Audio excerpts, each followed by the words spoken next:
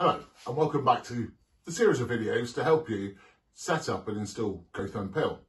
This video is the one I'm most excited about, where we're going to take the situation that we left you in in the previous video and actually install the unit itself. Let me bring the camera a little bit closer and let's get started.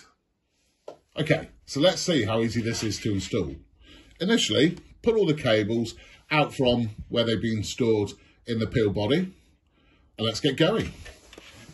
First step, let's take the earth tab, let's pass the screw, retaining screw through it, and we take the adapter plate, offer that up to the element boss, and let's screw that in.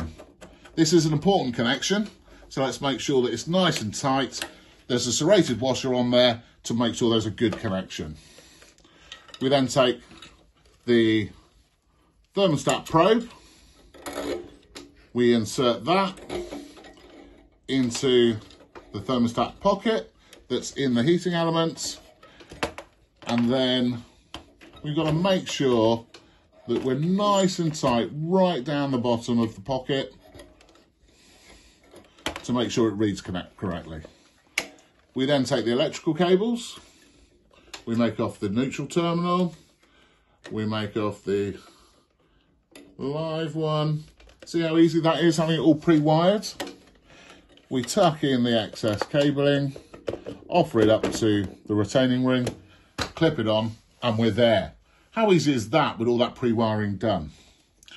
We then have the blue click connector. This is relative, relatively easy to connect. Instructions are there already. So once this is connected, we'll power it up and let's see what happens. See you in the next video.